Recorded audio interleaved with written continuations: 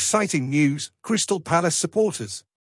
Kofi Balmer is set to gain valuable experience at Port Vale.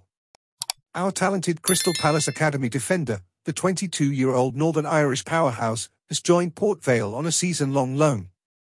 Balmer, who joined the Eagles in the summer of 2022 from Larne FC, has been a standout performer for our U21 team, featuring in 33 matches across all competitions and even finding the back of the net once.